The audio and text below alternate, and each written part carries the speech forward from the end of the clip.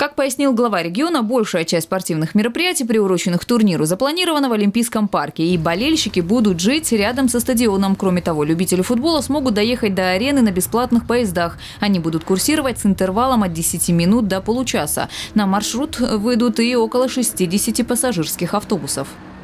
Все будет организовано так, чтобы туристы и болельщики не мешали друг другу. При подготовке к матчам Кубка Конфедерации мы максимально развели маршруты футбольных болельщиков и отдыхающих.